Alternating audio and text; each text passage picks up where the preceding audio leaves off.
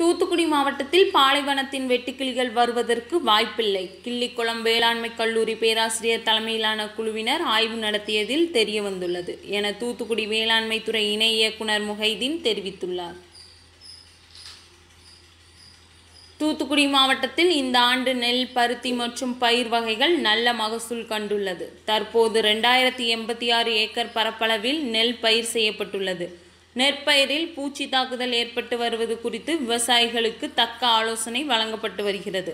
மேலும் பாலைவனத்தின் வெட்டுக்கிளிகள் வருவதாக விவசாயிகள் அச்சம் ஏற்பட்டதை தொடர்ந்து கிள்ளிக்குளம் வேளாண்மை கல்லூரி பேராசிரியர் தலைமையிலான குழுவினர் தூத்துக்குடி மாவட்டத்தில் பல்வேறு பகுதிகளில் ஆய்வு மேற்கொண்டதில் உள்ளூர் வெட்டுக்கிளி மட்டுமே உள்ளதாகவும் பாலைவனத்தில் உள்ள வெட்டுக்கிளிகள் மாவட்டத்திற்குள் வருவதற்கு வாய்ப்பில்லை எனவும் உறுதியாக வேளாண் துறை இணை இயக்குனர் முகைதீன் தெரிவித்தார்.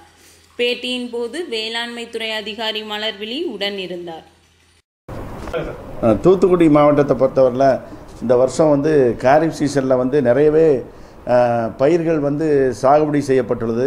குறிப்பாக வந்து நெல் வந்து ரெண்டாயிரத்தி எண்பத்தாறு ஹெக்டர்லேயும் அப்புறம் பருத்தி முந்நூற்றி தொண்ணூற்றேழு ஹெக்டர்லேயும் எண்ணெய் வித்து பயிர்களான நிலக்கடலை எள் இது வந்து கிட்டத்தட்ட இரநூத்தி ஐம்பது ஹெக்டர்லேயும் வந்து சாகுபடி செய்யப்ப செய்யப்பட்டுள்ளது. இப்போ மேஜராக நமக்கு வந்து நெற்பயிர் தான் நமக்கு வந்து கிட்டத்தட்ட ரெண்டாயிரத்தி எண்பத்தாறு ஹெக்டர் பரப்பில் சாகுபடி செய் செய்யப்பட்டு வருகிறது. இப்போ நாங்கள் வந்து நெற்பயிரில் இப்போ வந்து நட்ட முப்பது நாள்லேருந்து அறுவடைக்கு நெருங்கின வரைக்கும் வந்து பயிர்கள் வந்து இருக்குது. பெரும்பாலும் வந்து ஜூலை கடைசியில் அறுவடை ஆகும் என்று எதிர்பார்க்கப்படுகிறது. இதில் மெயின் என்னென்னா வந்து இந்த நெற்பயிர்கள் அனைத்தும் வந்து நம்ம குளத்து பாசனம் குளத்தில் உள்ள நீர். ஏன்னா போன வருஷம் வந்து நிறையவே வந்து மழை. கிட்டத்தட்ட நாற்பத்தஞ்சு பர்சன்ட் கூடுதலாக மழை கிடைச்சதுனால குளங்களில் ஓரளவு தண்ணி இருக்குது அந்த தண்ணியை வச்சு தான் இப்போ நெற்க நெற்பயிர்கள் வந்து நடப்பட்டு இப்போ பயிர் நல்ல நிலையில் இருந்துகிட்ருக்கு ஸோ இப்போ அந்த பயிர்களில் வந்து என்னென்ன பூச்சிகள் வருது அப்படிங்கிறத வந்து நாங்கள் கண்காணித்து அவ்வப்போது வந்து விவசாயிகளுக்கு நாங்கள் பூச்சி நோய் தடுப்பை ப பற்றி வந்து நாங்கள் சொல்லிட்டு வர்றோம். பூச்சி நோய் கணிப்பை பொறுத்தவரையில் இப்போ நம்ம சமீப காலமாக வெட்டுக்கிளி அதிகமாக நமக்கு பாலைவன வெட்டுக்கிளி நம்ம நமது ஸ்டேட்டுக்கு வருமா அப்படிங்கிற மாதிரி நிறைய விவசாயிகள்கிட்டருந்து கேள்வி வந்தது.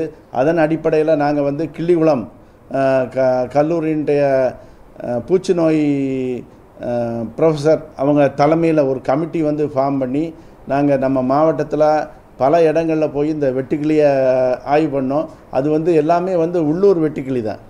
நமக்கு வந்து வெளியே பாலைவன வெட்டுக்கிளி வந்து கிடையாது. ஏன்னா பாலைவன வெட்டுக்கிளி வந்து கோடிக்கணக்கில் வந்து மொத்தமாக பறந்து வரும். ஸோ அதை மாதிரி நிலை வந்து நம்ம மாவட்டத்தில் வந்து இல்லை. ஸோ விவசாயிகள்கிட்ட வந்து இந்த மாதிரி பாலைவன வெட்டுக்கிளி வரல. ஏன்னா நம்ம பகுதியில் வராது அப்படிங்கிற மாதிரி நான் உறுதியாக வந்து நம்ம சொல்லியிருக்கோம்.